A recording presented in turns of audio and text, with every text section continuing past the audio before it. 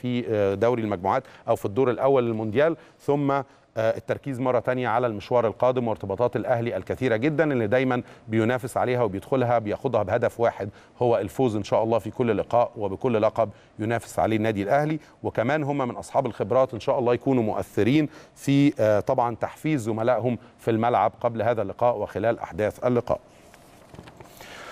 بيؤكد المدير الفني جاهزية اللاعبين الدوليين العائدين للمنتخب وإن شاء الله يكونوا من الأوراق المؤثرة جدا في هذا اللقاء وبيؤكد كمان أهمية هذه المباراة والحسابات الفنية الخاصة بها وضرورة احترام المنافس وإنه وقف مع جهازه الفني على كل أوجه القوة أو نقاط الضعف الموجودة في صفوف المنافس لاستغلالها بالشكل الأمثل والحد من خطورة المنافس من خلال دراسة جيدة جدا لنقاط القوة في صفوف بطل بوتسوانا. وأضاف أيضا خلال هذا المؤتمر الصحفي قال إن إحنا خلاص وقفنا على كل النقط المهمة الخاصة بأداء الفريق وخطة لعب المنافس اللي طبعا هتساعدنا هذه الدراسة أو هذا التركيز مع اللاعبين على معرفة الفريق بأفضل شكل ممكن في أداء بطريقة تربك الفريق المنافس وتؤدي إلى فوز النادي الأهلي في هذا اللقاء إن شاء الله. وتأكيدات من كابتن الفريق زي ما قلنا لحضراتكم حسام عاشور إن الأهلي لا يعرف الاستسلام وقادر على العودة لهذه المباراة وده بيتفق طبعا مع التصريحات اللي أعلنها كابتن محمود الخطيب رئيس مجلس الإدارة خلال الأيام القليلة الماضية واللي قال إن الأهلي على مدار تاريخه حتى في أصعب المواقف لا يعرف الاستسلام وبيخوض بنفس الروح القتالية وبروح الفانيلا الحمراء كل لقاءاته محليا ودوليا مهما كانت الأمور معقدة في أي مشوار أو في أي بطولة بياخدها الفريق في بعض الفترات أو بيتعثر فيها من خلال بعض المباريات. طاقم تحكيم مباراة الأهلي وتاونشيب يتدرب في برج العرب. ده طاقم تحكيم اللي هيدير هذا اللقاء لقاء الغد إن شاء الله لقاء يوم الثلاثاء في برج العرب. وأيضا طاقم تحكيم المباراتين أجرى هذه التدريبات أو بيعلن عنه أو بتعلن أسمائه ولكن بالفعل المعلومة الدقيقة لا اللي أدوا التدريبات فقط واللي متواجدين حاليا في برج العرب هو طاقم تحكيم مباراة الغد اللي هيدير هذا اللقاء بين الأهلي وتاونشيب.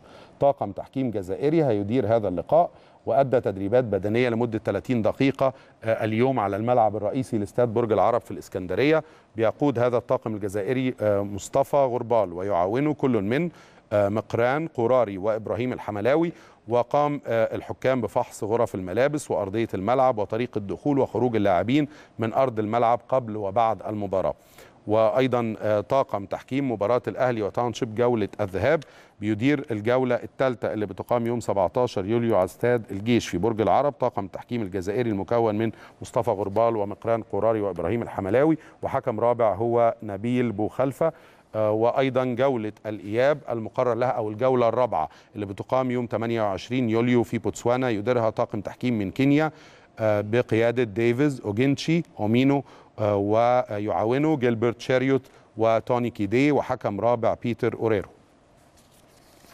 عاشور وسليمان وفتحي بيعقدوا جلسات تحفيزية مع اللاعبين لتخطي عقبة بطل بوتسوانا. دايما اللاعبين أصحاب الخبرات أصحاب خبرات أكثر مقارنة بزملائهم الأكبر سنا اللي احتكوا بمواقف وسيناريوهات مشابهة أكثر خاضوا عدد أكبر من البطولات والمباريات في مشوارهم. بيكون كلهم بيؤدوا نفس الدور دور كابتن أو قائد الفريق وتكون عندهم القدرة على إقناع زملائهم بأفضل شكل ممكن أفضل استعداد ممكن لهذه المباراة. تحفيز اللاعبين الوصول لاتفاق جماعي في صفوف الفريق على بذل كل الجهود الممكنة وإدراك الجميع بشكل جيد جدا لأهمية هذا اللقاء. وتأثيره في مشوار الفريق في البطولة الأفريقية. وهننتقل في أي وقت مع حضراتكم كمان لمتابعة أكثر تفصيلا. معنا بالفعل زميلنا كريم أحمد من برج العرب في الإسكندرية مراسل قناة الأهلي وهو مصاحب لبعثة النادي الأهلي وللفريق واستعداداته الأخيرة للقاء مع تاونشيب بطل بوتسوانا خلونا نعرف